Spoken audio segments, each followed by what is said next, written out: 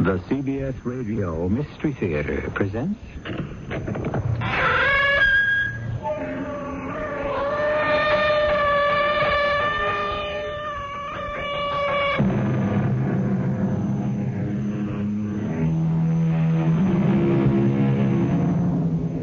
Come in. Welcome. I'm E.G. Marshall. It does no good to argue with the inevitable. Actually, the best rebuttal you can present to a frosty north wind is a fur-lined overcoat. But isn't that the way we go through life? Arguing with the inevitable, the imponderable, the incomprehensible, and the unchangeable. Who are you, Ralph? Who am I? Well, I fell in love with you. I thought you were what I wanted, an average guy, but that's not what I wanted at all. But I am an average guy, Sylvia. Oh, no. Oh, you're dangerous, exciting. And I don't care if you go with other women. Why, a man like you, Ralph, no one woman could be enough. Sylvia. Well, I I don't care about the others as long as I'm the one you come home to.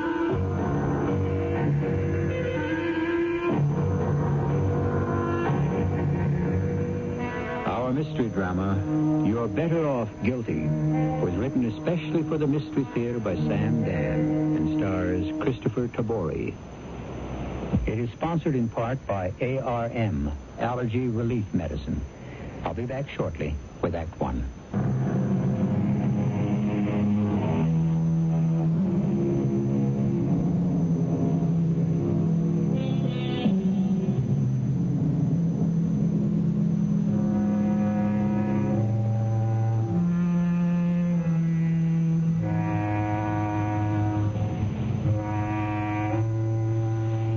Bygone days, storytellers would celebrate the death of kings.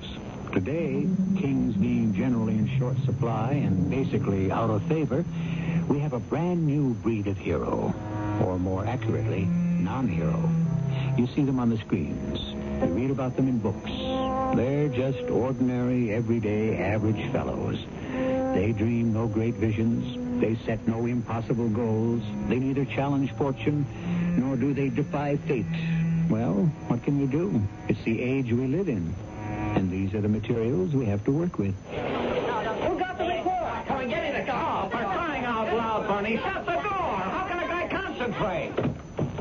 Oh, what's the matter with those guys? You'd think we never had a murder around here. Inspector Thorstad. Oh, come on now, will you? Give me a break. She's not even cold. How do I know who killed her? Sure thing. Absolutely. The exact split second we get even a glimmer, I'll get right on the horn so you can carry out your sacred obligation to keep the public informed. Oh, what a pack of ghouls. Uh, hey, Paul, uh, send that guy in. You know, what's his name? Whoever he is. Uh, and don't put through any more calls from reporters, huh? Uh, pardon me, is this the, um... Uh, yeah, yeah, yeah. Come on in. Shut the door. Let's see now. Uh, your name is Northfield. No, it's, um... Oh, uh, Southfield. No, it's, it's Westfield. Oh, yeah. I, I figured it was in there someplace. And you're the one who found the body. Yes, sir, I did. Well, I want you to tell me the exact circumstances. But I already did that. Yeah? Yes, I, I told him to the officer who, who came to the scene, then to a lieutenant, I believe, behind a desk, and then to a detective. Yeah, well, uh, it don't count until you tell it to me. Yes, but, Captain, Uh, Inspector. I'm only trying to say that each of them wrote down everything I said, so... Yeah. Every one of those guys knows how to write. That's never been the issue. Okay. Now, according to what you said, I got it here someplace. Inspector, is this going to take long? Long? Uh, well, I don't know. As long as it takes. You see, the thing is, I was due at my office at 8 o'clock. Yeah. It's half past 10 now, and... It's a local call. Yes, Pick up the phone and dial nine first. thank you. Oh, Inspector, what am I going to say? Say you'll be late.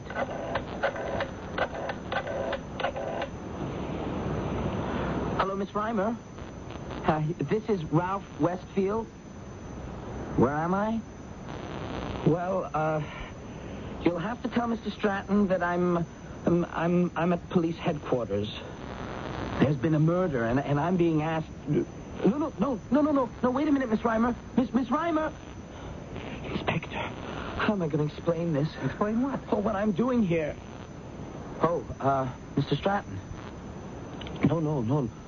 Am I, am I, am I what? No, please, please, wait a minute, sir. Inspector, am I being held? Uh, You're being questioned. Mr. Stratton, I'm being questioned. Oh, no, sir, I didn't do anything. I just happened to find the body. Uh, yeah. Just a minute, sir. I, I, I'll, I'll ask. Inspector, when will I be free to go? I don't know. Then I'm being held? You're being questioned. Are they, um... They're just asking me some questions, Mr. Stratton. Oh, I don't, I don't know anything about it. What? Well, if I don't know anything about it, why are they asking me questions? Well, it's, it's because I found the body. Oh, no, no, no, sir. I, I, I wasn't looking for it. In Hewlett Park. At seven this morning was a, a woman, very young woman. One of those one of those singing stars, Jill Joris. Okay, come on, let's go. Oh, uh, I, I have to hang up now, Mr. Stratton. I'll explain everything as soon as I see you. Yeah, yes, sir. Oh, I can just imagine what he's thinking. You don't know how conservative he is. So there you were in Hewlett Park. Now, what were you doing there at 7 o'clock in the morning? It's the way I walk to my office. Didn't you say that you had to be there at 8 o'clock? Well, that's how long it takes to walk. You mean you walk an hour every morning? Yes, sir. I have a very sedentary job. I need the exercise. Huh. Ah. How long you been walking like that? Ooh, it's a month now. Where's that statement you made? Oh, yeah. You saw this car over by the side of the road. Yes, sir. It was a Girardi 462. Now, I'd never seen one, actually. Yeah? So I asked myself, what is it doing here in the park? So I walked over. And then I... Then I saw her. She was lying over the wheel. You know what I mean? Her face was turned toward me, and her eyes... Her eyes were just staring at me. And did you know who she was? Well, she looked like the famous star, Jill Joris. But I said, no, it can't be. Hmm? Why? People like her, I mean, what would she be doing up at 7 a.m.? And then what did you do?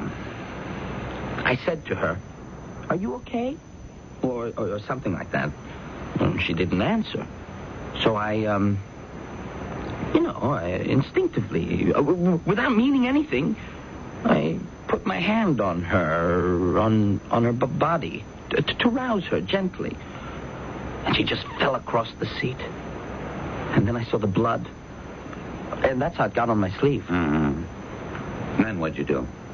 I ran down the road. I saw this police car and. Well, that's it. And did you see anyone else in the park? Oh, no, sir. Now, you didn't see or hear anything that could help us. No, sir. And that's your story. Yes, sir. Why'd you kill her? What? What, what did you say? Why did you kill her? Oh, but I didn't kill her. How, how can you ask that? Good question. No, you have no right. I, You were the one who discovered the body, you say. but I didn't kill her. I didn't even know her. Okay, that's your story.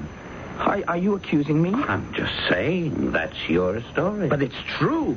I'm not saying it isn't true. Well, what are you saying? I'm saying be available in case we have to talk to you again.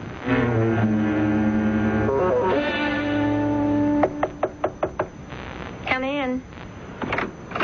Miss Reimer, Mr. Stratton said for me to come in. Oh, yes, he's waiting for you. Mr. Westfield is here. Yes, Mr. Stratton. You're to go in. Is he upset? Well, what do you think? Uh, come in, Westfield. Come in, come in. Close the door. Yes, sir. Now, what sort of business have we here? It's been on the radio, television. I suppose by tomorrow it'll be plastered all over the newspapers. I'm sorry, Mr. Stratton. What sort of image is this for a company like ours? Oh, I didn't mean to create any problems. Uh, what were you doing in the park at that hour, anyhow? Just walking. Walking. Now, Westfield, I want this thing to end right here. Do you understand? Yes, sir. The sooner it's blown over and forgotten, the better for you. Yes, sir. I'm giving you the benefit of the doubt. Sir? I'm assuming, of course, that you're innocent. Oh, but I am. Because if it should come out that you... Oh, no, no, are- Mr. Stratton, believe me, I'm innocent. Well, at best you were indiscreet. So, why couldn't you take a bus to work as normal people do? I hope we've heard the end of it. Yes, sir. That's all. For now. Thank you, sir. Well, how'd it go? Oh, Miss Reimer. Is it possible that he believes I killed her? Old man Stratton? Huh, Who knows what he believes? I still don't know what hit me. There I was, just walking along. Sure. And now? Now what? I don't know. Hmm. You know, I never noticed you before. I'm not a very noticeable person, I guess. I knew we had a Ralph Westfield buried deep down there in research, but I never suspected. I, I came up here sometimes to deliver something personally to Mr. Yeah, Stratton. that's what I mean. And you're really not a bad-looking guy either. Oh, thank you, Miss Reimer. Yeah, why don't you call me Belle? Sylvia. I don't know if I should see you, Ralph. What are you talking about, Sylvia? Let me in. Ralph, what are we going to do? Everybody's talking about it. It's all you hear at the office. When my mother called me long distance, what's this about your fiancé? Ralph, why did you do it? Do what? Whatever it was. Well, all I did was I discovered the body. All right. Why did you do that? But, but because because you see a body with blood? Please. Well, then what, what I'm trying to say is I did what a citizen's supposed to do. Sure. I had an obligation, a duty. Ralph. I had to do it. The law says that if you don't... I know all about that law. But there's another law, Ralph, the law of common sense and and experience. Now, now, Sylvia, Sylvia, please listen to me. I was just walking to work. That's another stupid idea. And I saw this great-looking sports car, this Girardi 462, and I saw someone slumped over the wheel. So? Somebody could have been asleep. Why didn't you just mind your own business? No, Sylvia, this person wasn't asleep. I could tell. How could you tell? There's a kind of sprawl, you know, to a dead body. I, I, I, I just knew she was dead. All the more reason for you to keep walking. I thought of that. Then why didn't you do it? Because that could have been worse. How could anything? Suppose, after somebody else found the body, suppose the cops started asking asking around if anyone had been in the vicinity. Suppose someone had seen me, described me. It almost could have happened. I had a narrow escape. What are you saying? After I had a good look at her, I ran down the road. I hadn't got more than a hundred yards when I saw a police car. He was headed in her direction. So? He would have found her. Yes. And he would have remembered a man running down the road. If I hadn't stopped him, he would have taken a good look at me. It was seven in the morning in the park. Oh, if only you could have taken a bus to work like normal people, Ralph. He would have seen her dead in the car. He might have turned around and come after me. Then, then where would I be? I don't know, Ralph. Oh, Sylvia. It's been a very rough day for me. I'm. I'm sorry, Ralph. The cops have been at me. And then at the office, old man Stratton had me on the carpet.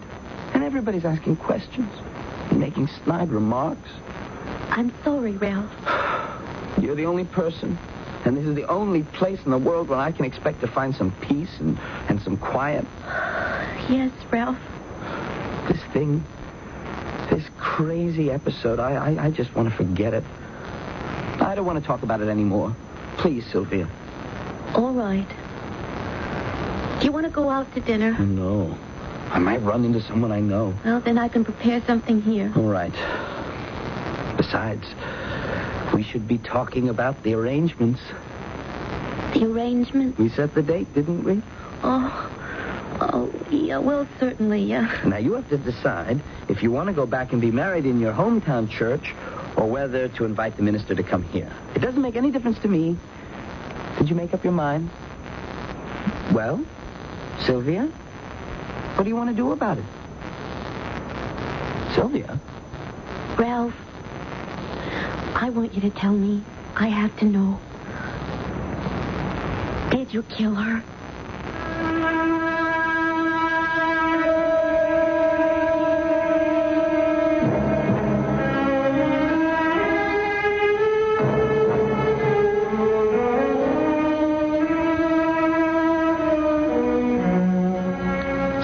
Suspicion. Who in this world can be above suspicion? Not even Caesar's wife. Are we suspect because of what is in ourselves or because of what just happens to be in the eye of the beholder? We're in for a considerable amount of suspicioning when I return with Act Two. Fellow Americans, if you're still shopping here and there and everywhere for shoes, hold it right where you are. Your feet together, stop running around. Just step around to Kinney and you'll cover the ground. Any way you want to go, head your feet in our direction. Kinney's got it all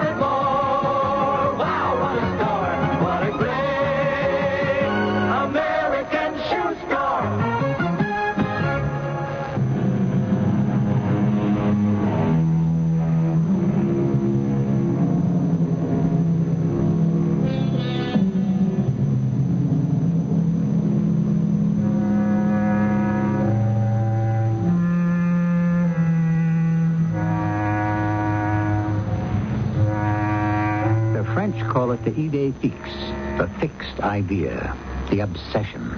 And it can be anything a thought, an impression, a theory, even a prejudice. But once it takes root in the fertile soil of the imagination, it can never really be pulled out. Mr. Ralph Westfield is up against a problem of this nature. What did you just ask me? You heard me, Ralph. Did you kill her? How could you ask me a question like that? Why would I kill her? Well, because maybe she was getting tired of you. What are you talking about? I never even knew her. The one and only time I ever saw her, she was dead. Is that true, Ralph? What do you mean, is it true? When would I ever have a chance to see her? All day? I'm at work. In the evening, I'm generally with you. At night, she's working. So when would I see her? Six o'clock in the morning in the park. I told you. I never saw the girl in my life.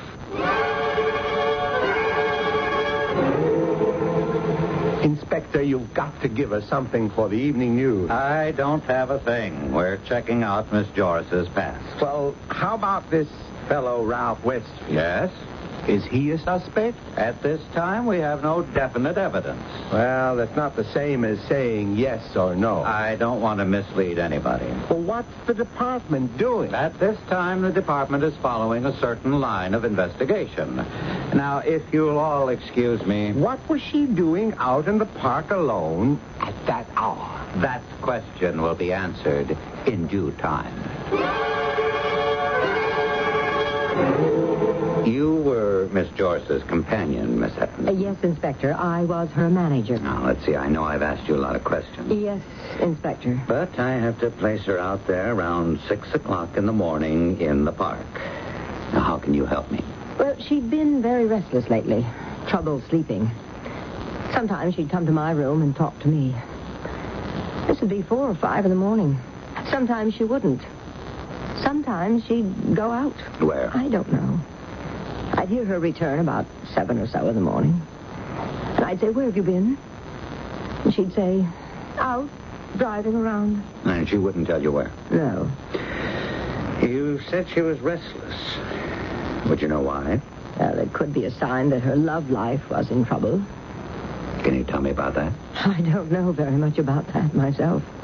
Miss Evans, I'm working on a homicide here. Well, it's the truth, Inspector. Dozens of men were in love with her, but she had problems. Now, what kind? Oh, finding someone who could be serious about her and whom she could relate to. That's why she never went out with men in show business. It would all be too public. So, who did she go out with? Men she would meet here and there. I think underneath all that high-powered glamour, she was a very domestic little girl. She liked men who were Average every day. Middle class, white collar types. Teachers, accountants, Accountant? something like that. She must have been very deeply involved with one. Because I had to talk to her about something very important. She just never had the time to sit down with me. What was so important? Her investments. Yeah? With this inflation, she should be doing something with her money. But she would keep saying no to me. Don't worry about it. It'll be taken care of very soon. Do you know what she meant by that? No. No, Inspector. Well, thank you very much, Miss Evans.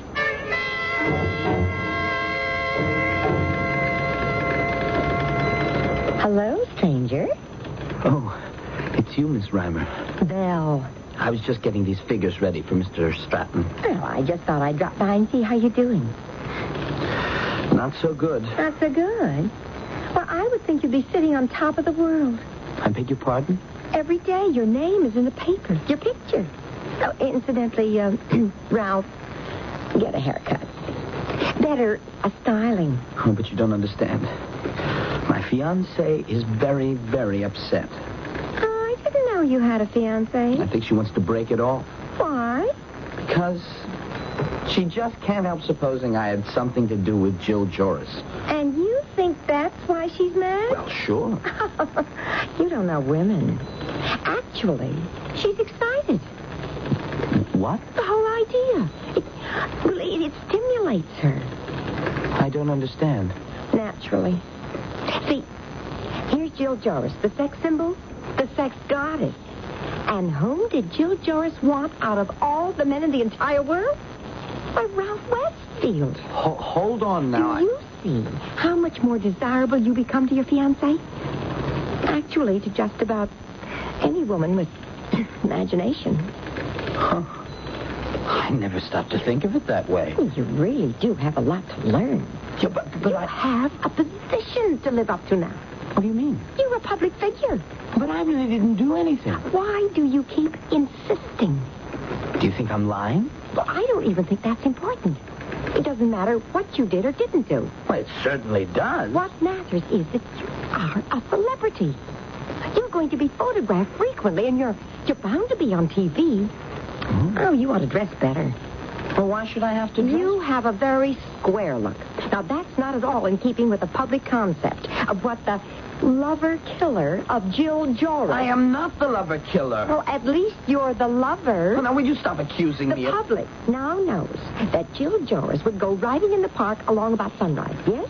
And that you go walking in the park at the same time? But I'm only on my way to work. No. We have a considerable body of opinion out there that insists you were her lover. But it isn't true. It fits. It fits what?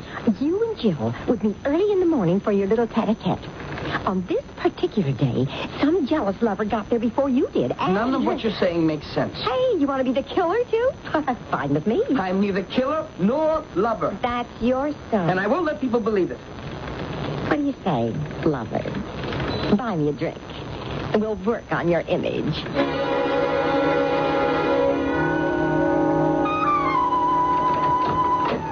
Ralph, Hey, baby. You're late. It's only midnight. And you've been drinking. Where were you? Taking care of some business. Ralph, you look different. That haircut, Yeah. that jacket and shirt. You like it? This outfit set me back 200 bucks. Two hundred dollars? What you got to eat in the house? You keep me waiting for for five hours, and then you barge in here and say what's to eat? Is that what I'm supposed to do? Wait around and cook? Honey, you got a complaint? Forget it.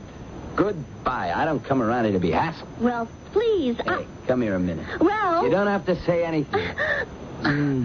Mm. Mm.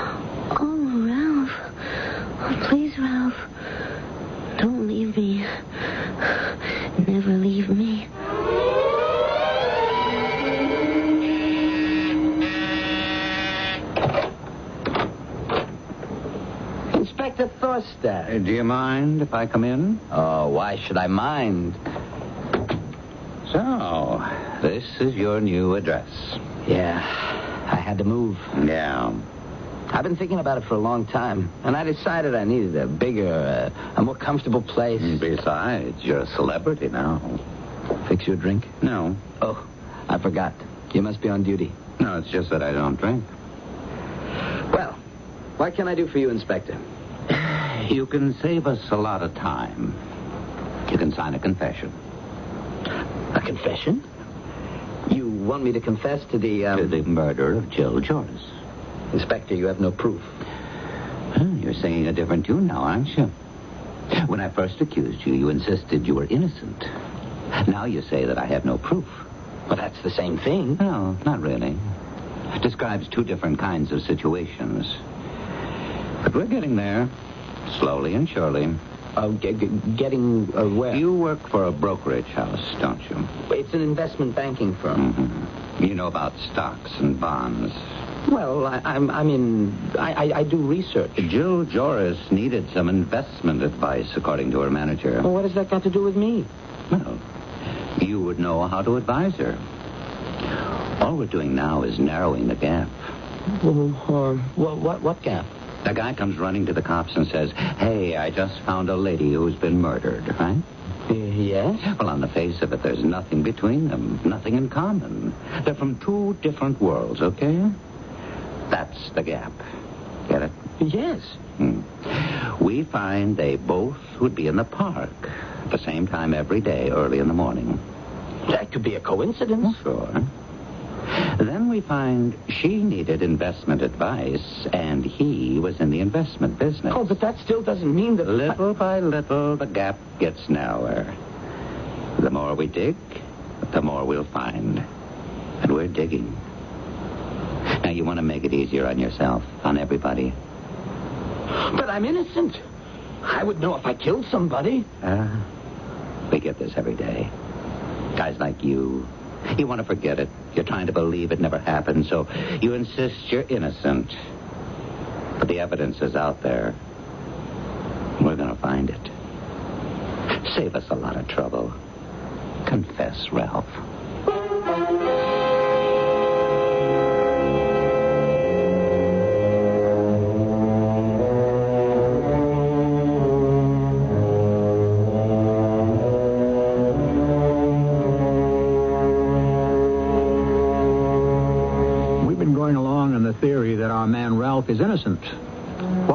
So sure?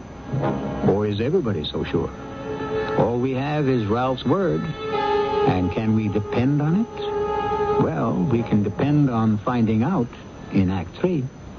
At the store, they told me there's a powerful anti-itch drug I can buy without a doctor's prescription. Now I use Bicozene cream as directed. No more burning, embarrassing itching. No more scratching. Bicozene actually speeds healing. Bicozene cream. What a relief. For constipation, remember Ex-Lax pills, the overnight wonder. Ex-Lax pills, the overnight wonder. Ex-Lax pills, for occasional use only as directed.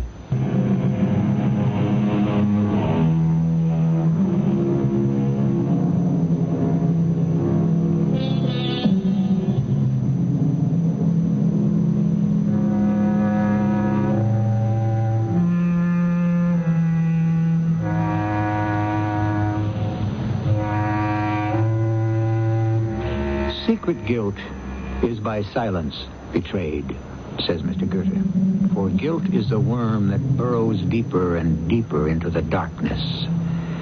One of the very few things in this world that becomes stronger as it grows older, provided one is guilty in the first place. Inspector, if you think I murdered Jill Joris, why don't you arrest me? I don't have the proof. Yet. But I know you did it. What makes you so sure? Look, I've been in this business a long time. What does that mean? I know how things add up. It could also mean you've been adding them up all wrong. All the evidence points to you. Then what's holding you back? Because it doesn't constitute the kind of evidence you can use in a court of law. Then it doesn't constitute any kind of evidence. Don't leave town. Why does Stratton want to see me? Don't worry. He never sends for me. I think he's afraid you're going to quit. Quit? Why don't you uh, go inside? Ah, yes, Westfield. Come in. Come in. Come in. Uh, there's something uh, I would like to discuss with you, Westfield. Yes, sir. I think you'd better close the door. Oh, yeah, yeah, yes, sir. Uh, Westfield, when I first learned of your involvement in this case, I was shocked.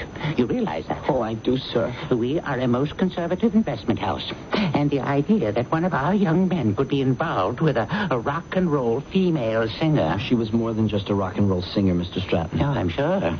I was, uh, to put it frankly, dismayed. Uh, the notoriety.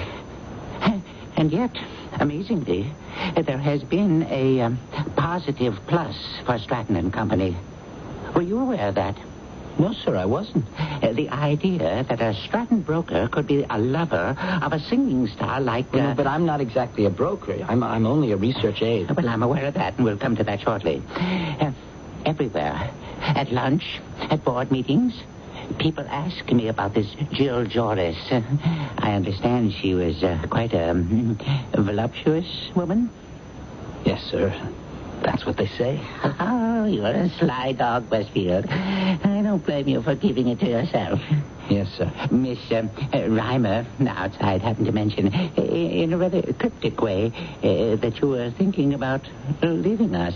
Oh, Mr. Stratton, I, I, I would never Oh, uh, consider... no, no need to leave.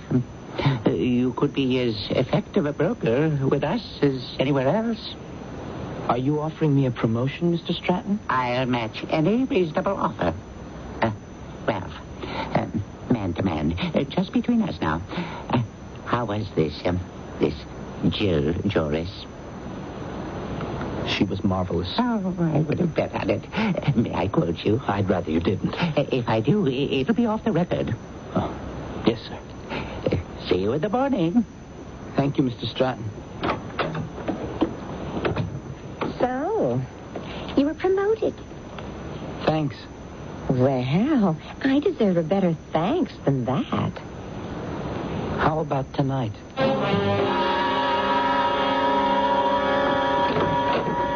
Ralph! Oh, darling, it's so good to see you. Sit down. Where have you been all week? I've got a promotion, you know. Been busy, Sylvia. Oh, well, my mother called long distance. She wants to know if we've set the date yet. That all has to be up in the air for a while, till things fall into the groove. Oh, yeah, well, I understand. It's a new job, lots of responsibility. Yeah, I realize that. Oh, hey, turn on the TV. I think we'll see me. Now, back to the news. We've been talking about Ralph Westfield. Asked, who is Ralph Westfield? I had no answer at the time. I have no answer now. Ralph Westfield is a mystery man in every sense of the word. Originally, he gave the impression of being an obscure clerk in a brokerage house. But it turns out he's an important executive.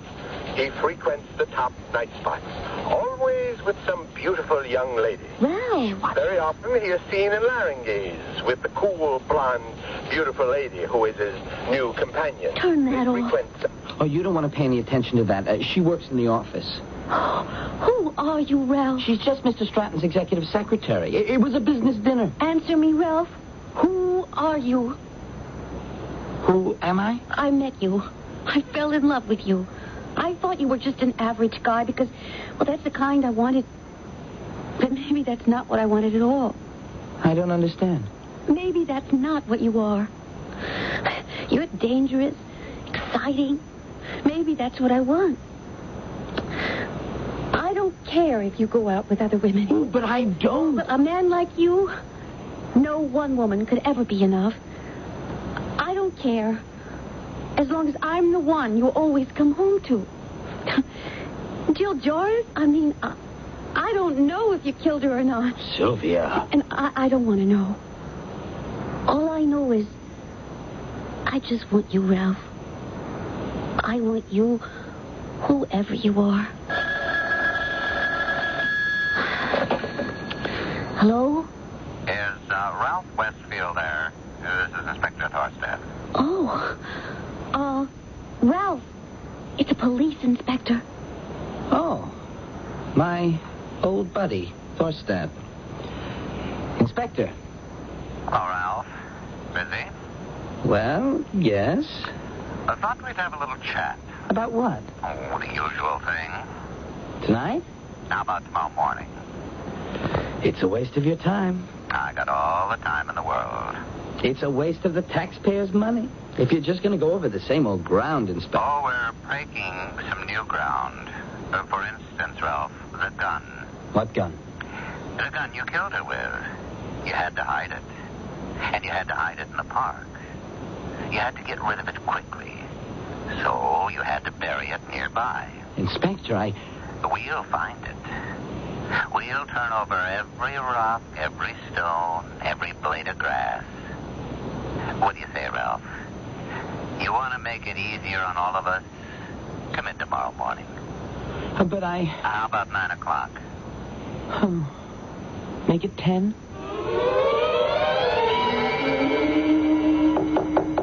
Yeah? Come in.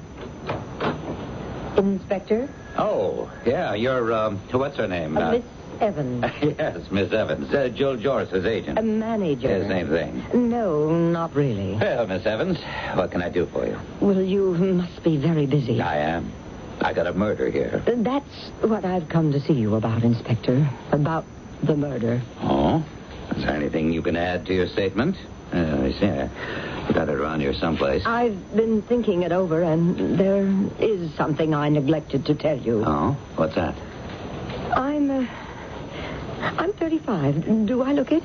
Well, you you do and you don't. You know the biblical allotment of three score years and ten. I, I still have half my life to live.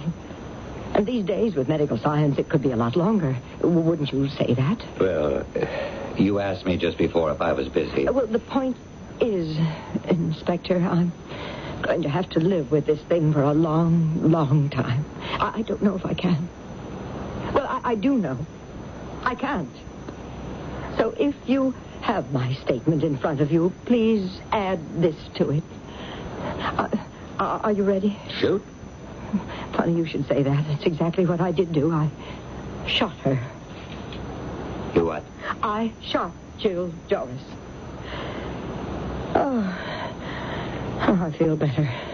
You shot Jill Joris. I was stealing her money.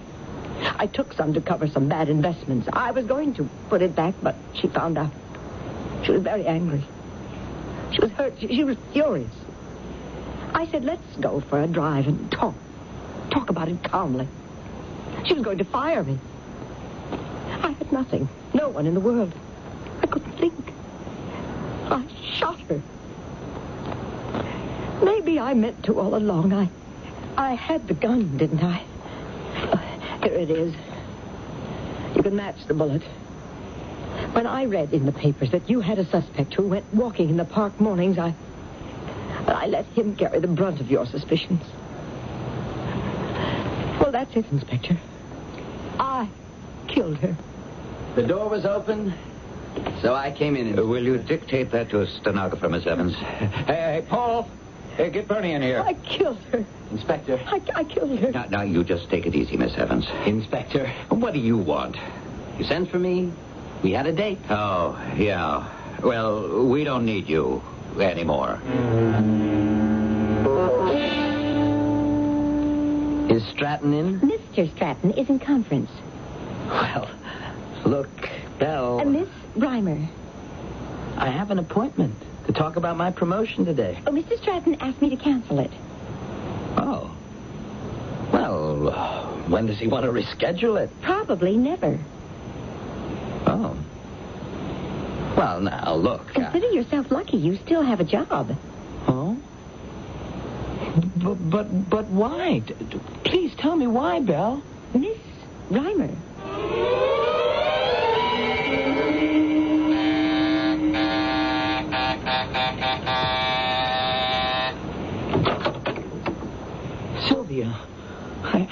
Been ringing and ringing. I know.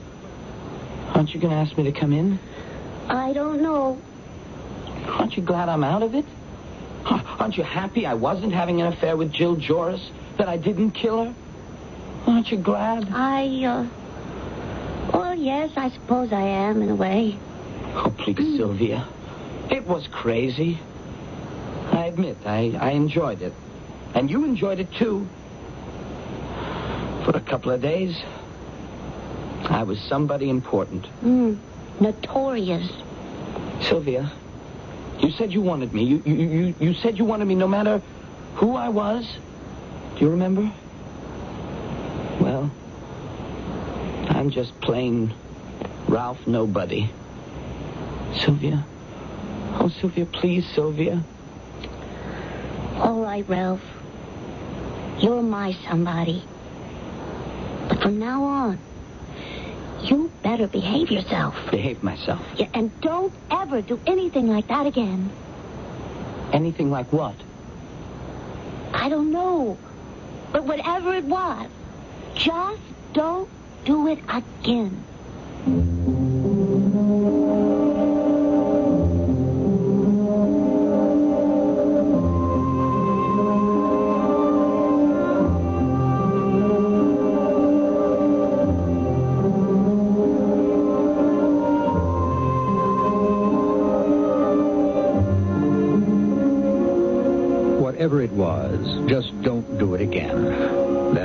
Sums everything up, doesn't it? I suppose it's the old, old story. Once accused, never excused. The lingering doubt. So many people say, if he wasn't guilty, why did the police arrest him? In this world, there are certain surefire, no-win situations. Make sure you never get caught in one. I'll be back shortly.